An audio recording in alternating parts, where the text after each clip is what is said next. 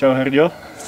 Čau. E, jsme na bootcampu, jak se ti tady líbí?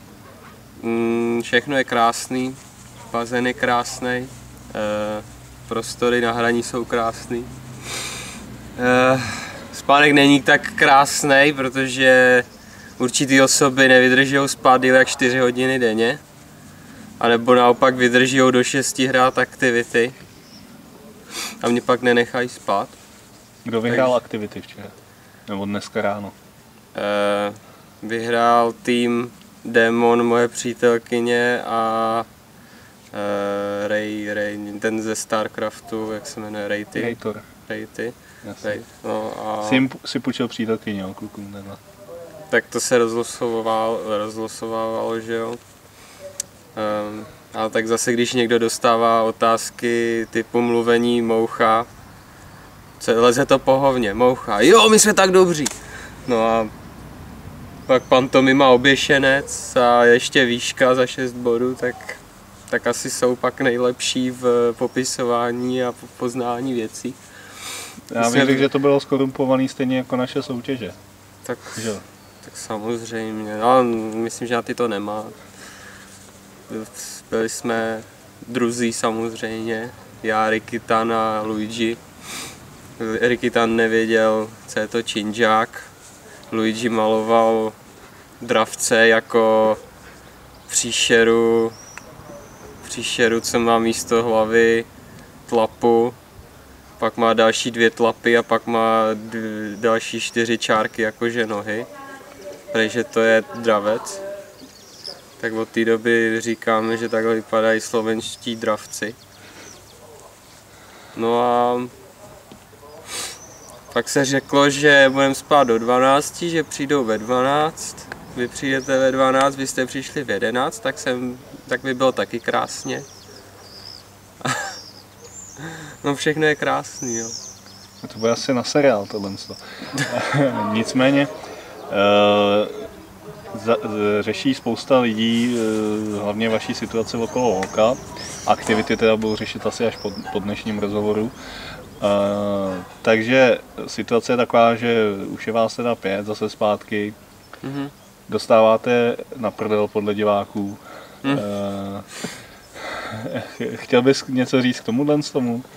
Tak uh, vlastně sehráváme se ještě, myslím, že tam byla jakože taková ta takové to váhání, jestli jsme fakt dobří a taková ta nedůvěra myslím, že se to na hře projeví, že pořád se někdo snaží sledovat, jak to jde tomu ADčku a, a jestli vůbec máme šanci vyhrát, ale postupem času se to přestává řešit a začínáme se víc soustředit na hru.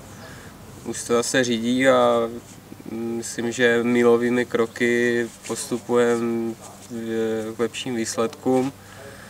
A mám už ten první den mi bylo jakože hrozně, ale tak eh, všichni jsme čekali, že to Challenger Series nedopadne dobře proti týmům, který jsou skvěle sehraný, trénujou proti ostatním profesionálním týmům každý den a na druhé straně my, kteří zrovna mají nového člena a teprve začali se svým tréninkem jakoby. Takže jsme čekali, že dostaneme, ale myslím, že ten bootcamp to určitě dramaticky změní a už, už bychom pak mohli něco pořádně zahrát. Jasně, vy teď máte za sebou nějaký, řekněme, dva ostřejší dny bootcampu, asi ne úplně celý, ale jelikož jste přijeli v pondělí, že? Mm-hmm. Uh, takže uh, myslíš si, že to bude poznat ten bootcamp, ten týdenní, takový týdenní soustředěníčko? Mm, já si myslím, že je to poznat už teďka, protože včera jsme k tomu fakt sedli a to, co byl problém, to jsme fakt jako, že řešili. Eh, vždycky k snapy se podívá, co kdo dělá špatně, jaký je problém a pak si o tom popovídáme, nikdo, nikdo před nikým už nic netají, vždycky se mu to jako hodí do tváře a pobaví se o tom s ním a se nad tím, i když, eh, i když se snaží jako vysvětlit, že to tak myslel dobře, tak se nad tím zamyslí a pak se to snaží tu hru zlepšit.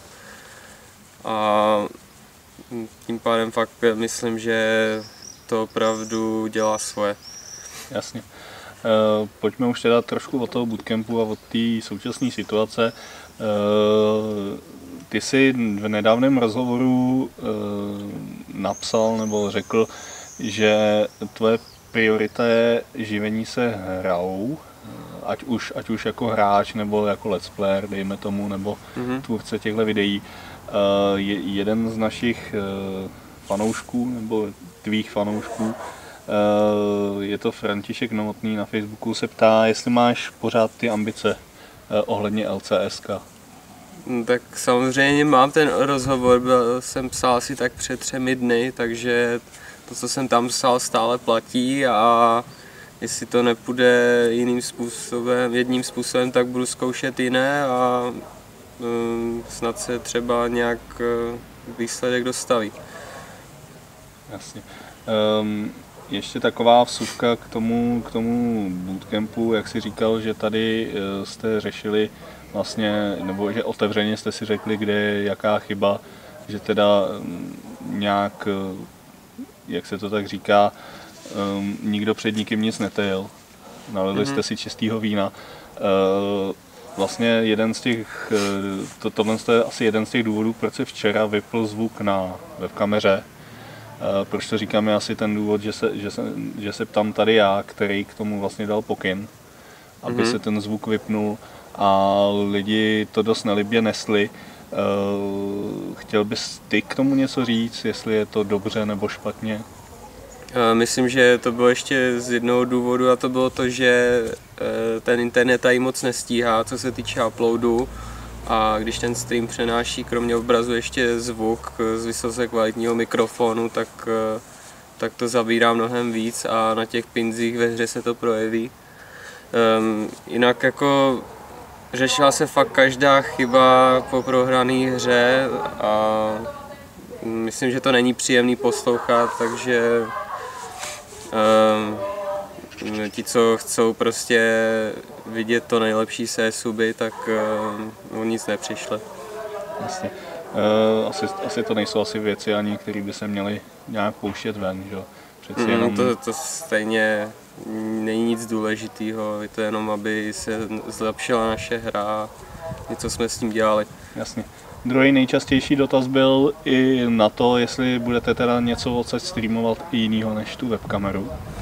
E, to jsem chtěl říct, e, zatím ten internet to teda moc nezvládá, ale až, tady, až nás tady bude míň, až e, odejde ta StarCraft sekce a ten internet bude trochu míň vytížený, tak bychom mohli zkusit nějaký jeden herní stream.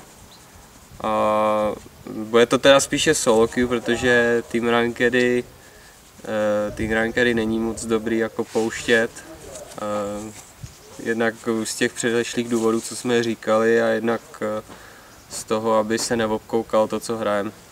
Někdo by argumentoval tím, že Team Rankedy se stejně dají spektit, takže budete s tímhle s tím ještě něco dělat. Tak dají se spektit, ale když k tomu není slyšet jako to, jak se dohadujeme a to, co prostě chceme zamýšlíme ty myšlenky k tomu, tak eh, je to asi tak poloviční.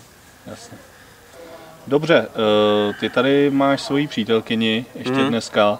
Eh, nenarušuje vám tréninkový program? Je to skoro jako kdyby tady nebyla. Má tady, má tady kamarádku od Snapyho, ten si taky přinesl přítelkyni nebo přijel s ní a ty sedí bokem a prostě hrajou si jenom jediná, jediný, čím jsou tady jakože na přítěž, je možná to, že pijou erální pití. O jídle nic neříkám, protože to vždycky zbyde a leží to tam na stole na randlu, mě to vždycky strašně líto, protože to tam zůstane přes noc a pak se to hodí, já nevím kam. Možná no. nějaký hospodářský drůbeži to tady v okolí. Teda až na pizzu, ta tam ta po se nějak slehla zem.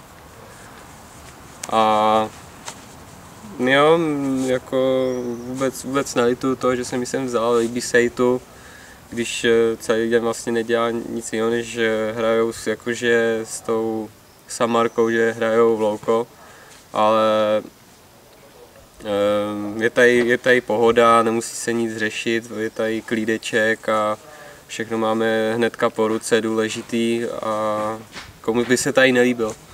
Jasně. Dobře, to je asi pro tuhle chvíli všechno, už takhle je to dlouhý rozhovor, jenom jestli byste na závěr ještě chtěl někomu něco vzkázat. Uh, chtěl bych vzkázat, ať, ať s námi vydrží fanoušci, že teďka jsou trochu špatný, že je trochu špatný období, ale my se z toho nějak vysekáme. Najdeme způsob, ať je jakýkoliv a určitě se to zlepší. Děkuju, že, děkuju, že s námi držíte a mějte se pěkně.